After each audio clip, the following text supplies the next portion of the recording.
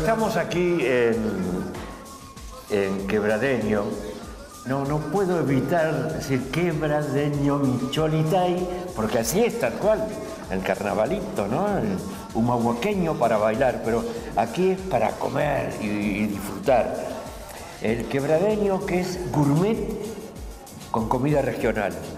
Una exquisitez como la que estamos comiendo y saboreando y seguiremos haciéndolo, por supuesto. Quebradeño está eh, frente a la Plaza Poirredón, en Alberdi, a pasos de, de Boulevard Gálvez. ¿eh? Frente a la Plaza Poirredón, ustedes pueden ver este lugar, lo pueden ver porque tienen unas guirnaldas de lucecitas todas las noches, porque abre los, eh, excepto los lunes, todos los días para cenar. Estamos con Fabián Paloliver. ¿Cómo te va, Fabián? ¿Cómo estás? Muy bien. Un gustazo. Igualmente. Un buen gourmet Está bárbaro. y regional, además. Está bárbaro. Que te gusta. bueno. Te gusta. Sí, Sos un buen comer, sos de buen comer. A mí me gusta comer. Me gusta comer y, y no digo que todos los días No. eh, trato de comer liviano, pero los fines de semana soy de buen comer. Aparte por tu trabajo de. Sí, de- el horario del mediodía. el mediodía bravo, ¿no? Un tente en pie, digamos. Claro. Como, bueno, hoy comí una tortilla de, de acelga gratinada, por ejemplo, con un poquito de arroz. Un toquecito como Pero comí a las 3 y media de la tarde. para. Que a veces la, la Sí, sesión. de depende del día. depende- ¿Cómo están las cosas en la provincia? Eh, ¿Se puede hablar de con optimismo de cómo están las cosas, cómo van, con realismo en todo caso, ¿no? A ver, creo que empezamos eh, un año bastante difícil por donde lo miré. Primero, bueno, la provincia fue muy castigada por la inclemencia del tiempo, por lo que se conoce como la Terrible. corriente del niño. Terrible. Eh, la verdad que es la primera vez que, que está por tantos meses alto el Paraná, el Salado, Lo que afectó a la industria, leche- industria, se puede decir así, a la láctea, ¿no? a la láctea, bueno, no- Bueno. no, fue lo mismo para la agricultura, problemas también con la ganadería, animales muertos, falta de, de- de pasteo. eh, 18 departamentos de los 19 departamentos se declararon en emergencia. Eh, después, bueno, hay que tener en cuenta la situación de- del Sí, sí. tarifazo, la pérdida del poder adquisitivo de los salarios. Y a hoy, bueno, lo más importante en la agenda pública, sin ningún tipo de duda, es los problemas de inseguridad que estamos viendo en la provincia de Santa Fe, porque está claro que el esfuerzo que está haciendo el Ministerio de Seguridad, el ministro Puyaro, eh, están, no están alcanzando.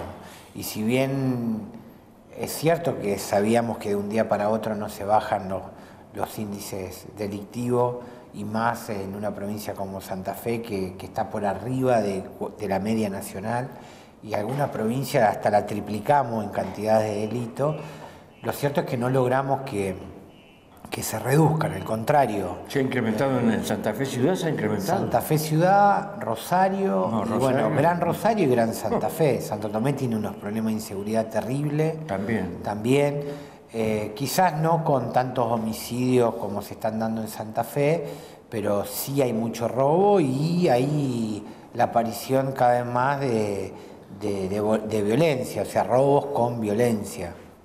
Así que la situación no está para nada fácil, pero también es cierto que, que el, el gobernador, eh, eh, bueno, con todo su equipo están haciendo todos los Con mucho esfuerzos. empeño, ¿no? Sí, Sí, hay, cosas importantes, hay obras eh, que ya están en ejecución. Ayer estuvimos el lanzamiento que se había hecho en abril del Plan Norte, en el norte de la provincia, abarca Sí. tres departamentos, Vera, 9 de julio eh, y Obligado. Eh, la verdad que es un plan de reparación en realidad, porque el norte siempre tan postergado.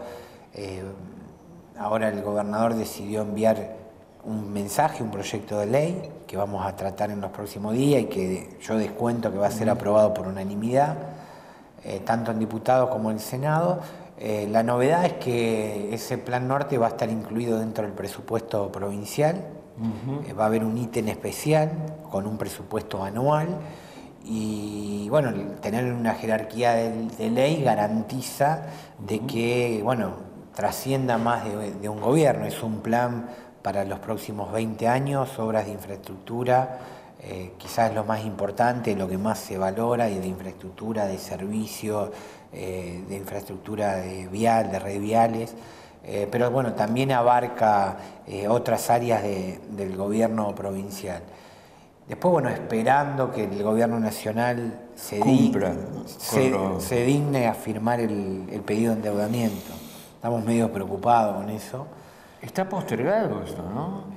Está demorando. A ver, es un acto, es un, lleva un trámite administrativo, eso no, lo podemos negar, no es que de, una semana para la otra va a salir. A ver, el gobierno nacional eh, anterior, Cristina tuvo dos años eh, un expediente y recién a los dos años salió eh, una autorización para poder endeudarnos. Esperemos que con Macri no suceda lo mismo. De todas formas, pensábamos que ya para esta época iba a estar ya firmado. La provincia de Santa Fe es una provincia que, creo que lo hablamos en otro programa, no tiene deuda, es una de las pocas provincias que son acreedoras del gobierno nacional, la nación le debe. Córdoba, Santa Fe y San Luis son las tres provincias, las demás son todas provincias que tienen deuda, deudoras con la nación. Así es. Eh, pero en líneas generales el presupuesto provincial, que esto es lo más importante, más allá de la recesión económica que hay, de, del recorte en el consumo. Eh, la verdad que el presupuesto municipal, el presupuesto provincial y los municipales no están siendo todavía tan afectados. Eh, esperemos que, que, la máquina empiece a marchar. A ver, yo también te lo dije en otro programa, Macri eh, no tiene ninguna excusa. le han sancionado todo lo que pidió. Se devaluó, se pagó a los buitres eh, ahora bueno, se aprobó el blanqueo, hay gran expectativa en el gobierno nacional y que ingrese una suma millonaria de, dinero y eso bueno tendría que estar reactivando. El tema es cómo entra y para qué. Yo a mi gusto, yo no soy partidario del blanqueo, no, no comparto conceptualmente lo que es un blanqueo, porque significa premiar a, los evasores, a los que escondieron la plata, a los que evadieron impuestos, muchas veces aquellos que no pueden justificar de dónde sacan el dinero. Pero también es cierto que el mundo, muchos países están llevando adelante esta política de blanqueo porque hay una fuerte decisión a nivel mundial de terminar con los países fiscales, que es los paraísos fiscales, que es donde se esconde el dinero. Entonces hay mucho entrecruzamiento y también es cierto que organismos de préstamos internacionales, eh, hoy también te están exigiendo que eh, no existan digamos, ciudadanos de tu país que tengan dinero escondido en otro lado. Pero bueno, más allá de que yo no comparto conceptualmente, eh, hoy es una realidad y bueno, esperemos que, que, ingrese buena suma de dinero y que se reactive, que no sea dinero que se blanquee y lo dejen afuera. Por eso en la ley tendrían que haberse incluido yo si hubiese sido legislador nacional digo, bueno, ya está, perdí, porque en realidad la mayoría logró un dictamen, hubiese trabajado para incorporar algunos requisitos que hubiesen sido eh, positivos, digo, eh, blanqueás, o sea, declarás la plata que en su momento no declaraste, pagás, que eso es dinero que ingresa al presupuesto nacional, pero también yo hubiese exigido en la ley que lo que blanqueás lo tenés que invertir en la República Argentina, no que te la vuelva a llevar o que la dejes afuera o que la inviertas afuera.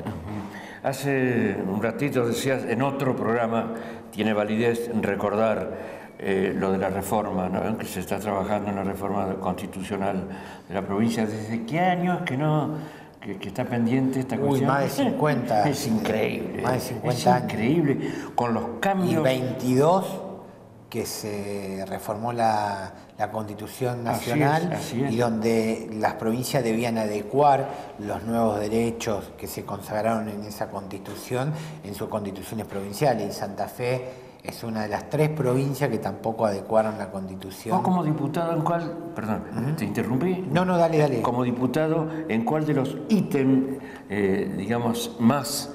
Eh, te preocupan y que más trabajarías yo, yo creo que hay una lista de cuestiones que no se discuten, eh, que, va a haber un fuerte consenso. La incorporación de nuevos derechos, eh, derecho de género, eh, bueno, todo lo que tiene que ver con género, con, las diferencias bueno, de, selección o elección eh, sexual, eh, todo lo que tenga que ver con la defensa del medio ambiente, eh, los derechos de niños y adolescentes, los derechos de la tercera edad, que ahora también en la agenda, por suerte, los gobiernos están empezando a trabajar la, importancia de proteger a, los adultos mayores, a los que ya están en la última etapa de, su vida. Santa Fe, de hecho, tiene una media sanción de un interesante proyecto de ley que tratamos hace, hace muy poquito. Eh, esas cosas creo que no se discuten, la autonomía municipal, habrá que ver qué tipo de autonomía, eso sí se va a discutir, si una autonomía Vos plena. Sos un gran conocedor. Sí, sí, pero aparte me, gusta y soy un defensor de que los municipios tengamos autonomía. Eh, bueno, después lo que es la mayor cantidad de, para los presidentes comunales gestiones de cuatro años, porque tienen dos años y la verdad que en dos años no se puede planificar, eh, viven únicamente para para trabajar en la coyuntura y nada más. Bueno, lo que tiene que ver con las reelecciones, si hay dos cámaras o una cámara, eh, eso es la polémica y donde hay seguramente diferencias. Yo soy partidario de que haya una sola eh, reelección para todos los cargos, para los legisladores, para el gobernador, para los intendentes, no más de una reelección. Eh, creo que es lo mejor, eso te permite oxigenar, te permite recambio, te permite brindarle oportunidades a las nuevas generaciones, a los cuadros políticos más jóvenes. Y aparte, bueno, yo no me olvido de que cuando era joven peleé por eso, entonces eh, ahora que ya no soy tan joven, digo, sería una contradicción eh, no entenderlo de, esa forma. Eh, la verdad que hay diputados, y esto no es ninguna imputación a nadie, pero hay diputados que están en la legislatura o senadores que están por 20 años, y me parece que eso no es, no son buenos ejemplos, digamos. Y no quiero hacer de esto la antipolítica, digo, tienen, son dirigentes importantes, pero tendrían que tener otros roles. Eh, lo mismo que los intendentes, a veces hay intendentes o presidente comunal que están 15 años, 20 años, eh, y no es bueno para el sistema. A ver, el, poder... Es feudal. Y el poder corrompe, te guste o no te guste, corrompe. Cuando digo que corrompe no me refiero a que todo es corrupción, digo, ¿en qué, ¿en qué corrompe? Es muy difícil sostener por muchos años eh, la misma contracción al trabajo eh, y difícil eh, mantener un equipo con las mismas expectativas. Hablando de equipo, Clemar me ha hecho una seña que ya prácticamente... Aparte yo quiero, quiero comer. unas empanadas que son una barbaridad, una cazuela de cordero. Espectacular. Está buenísima, está genial. Y bueno, es gourmet regional.